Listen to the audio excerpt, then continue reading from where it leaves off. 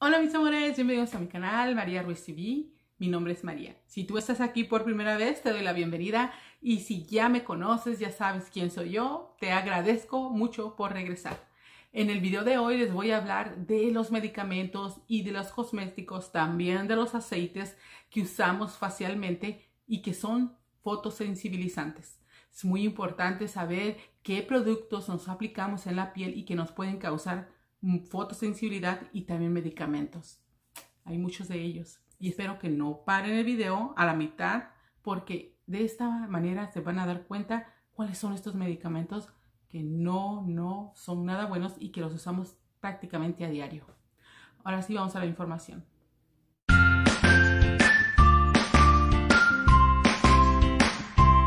Pero antes de seguir con el video, por favor regálame un me gusta y suscríbete a mi canal. Así cuando yo subo un video, pues ya sabes, es la primera en mirarlos. Miren chicas, lo primero que voy a hablar, bien importante, son los medicamentos. Y el primeritito, primeritito que voy a enfocarme son con los anticonceptivos. Desafortunadamente, los anticonceptivos orales son los que más fotosensibilidad causan a la piel hay hombres y mujeres que tienen este problema, es eh, precisamente mujeres porque son las que más usamos estos productos, estos anticonceptivos, pero también hay caballeros que los consumen. Así de que pues probablemente ese es uno de los ah, causantes que tenemos, que por lo que tenemos melasma. Otro medicamento que también puede ser uno de los causantes que puedes tener melasma es el Tylenol y la aspirina porque estos medicamentos contienen ibuprofeno. Nosotros, especialmente los que tenemos ya un problema de piel, como el melasma, vitiligo, rosácea y estas condiciones de piel que la verdad afectan demasiado, especialmente en estos tiempos. Antes de pasar con el siguiente punto de este video, que son los cosméticos fotosensibilizantes, voy a dejar una lista aquí de todos, de todos los ingredientes que estos medicamentos contienen y que pues desafortunadamente usamos a diario.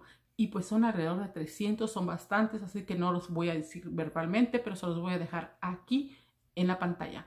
También se los voy a dejar en la cajita de información abajo para que si quieren saber cuáles son, pues nada más vayan y copian los, los ingredientes. Así cuando ustedes vayan a comprar un medicamento, saben que no tengan esos ingredientes en esos productos y si los tienen, por lo menos ustedes saben que se tienen que proteger aún más. Y pues ahora le toca el turno a los cosméticos. Y en los cosméticos están incluidos también los perfumes. Y aunque no lo creas, también hay bloqueadores solares que tienen ingredientes que son fotosensibilizantes. Así que tenemos que tener muchísimo cuidado cuáles son los bloqueadores solares que debemos elegir, especialmente si ya padeces manchas.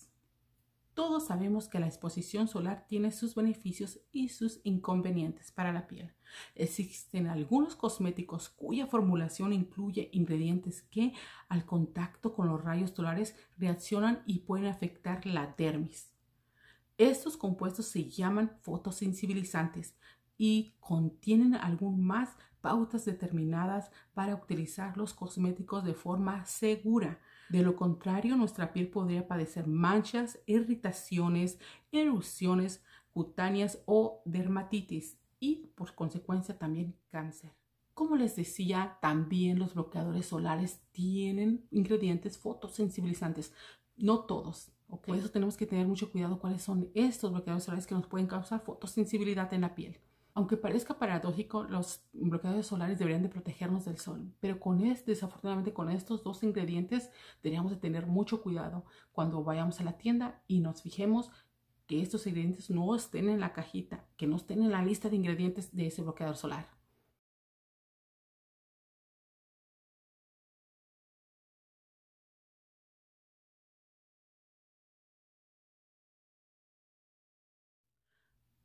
También en esta rama de los cosméticos se encuentran los jabones corporales y faciales.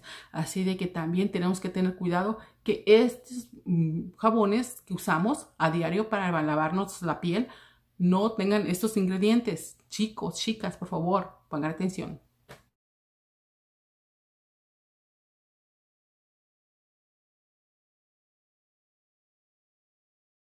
clase de jabones como les digo, no todos los jabones los contienen, pero sí algunos. Así de que no estoy diciendo que no uses estos jabones especialmente si a ti te gustan mucho, pero úsalos solo de noche.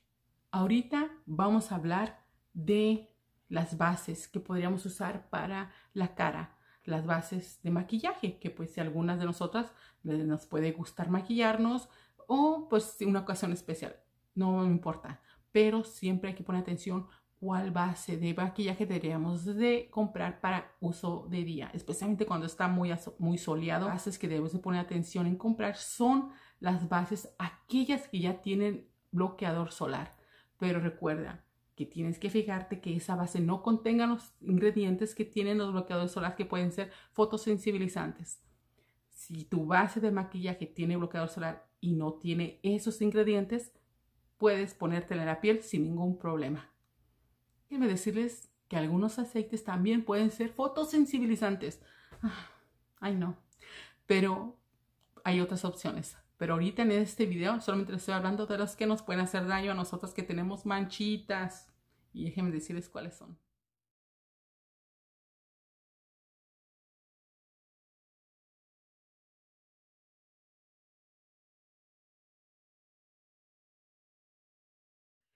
Y déjenme decirles que el de rosa de mosqueta es uno de mis aceites favoritos, pero tenemos que tener mucho cuidado con él porque es fotosensibilizante. Como les digo, si se atreven a usarlos de, día, tienen que usar un muy buen bloqueador solar y que no tenga los ingredientes nuevamente que les mencioné anteriormente. Otros que también, eh, otros ingredientes que puedes tener en cuenta en tener cuidado en usarlos de día son las esencias de verbena, apio, angélica, muy presentes con, en cremas limpiadoras faciales. También pueden provocar reacciones al contacto con la luz solar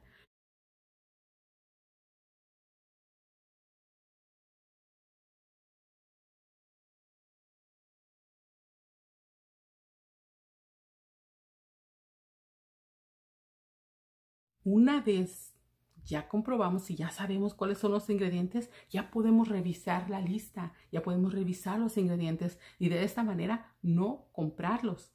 Y si los compramos, ya saben, usarlos de noche. Obviamente el bloqueador solar no lo podemos usar de día y pues tampoco lo vamos a usar de noche.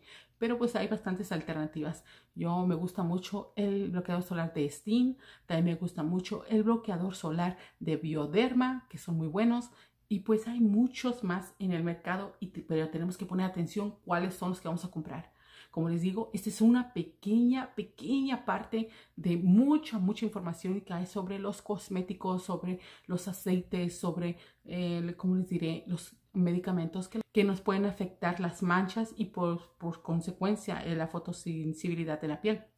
Ahora depende de ti cuidar tu piel. Yo aquí ya te di este video, yo aquí ya te informé con mi video, aunque sea poquito, pero ya te abrí una espinita para que tú misma digas, ok, déjame revisar estos ah, ingredientes que probablemente no sean los apropiados y los más adecuados para mi piel.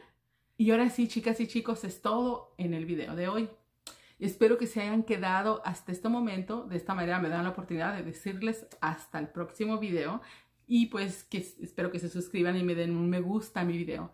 También si tienen más preguntas acerca del video de hoy, pues pregúntenme, pregúntenme, que yo les voy a responder. Y ahora sí, muchachas y muchachos, hasta el próximo video. Los quiero. Bye.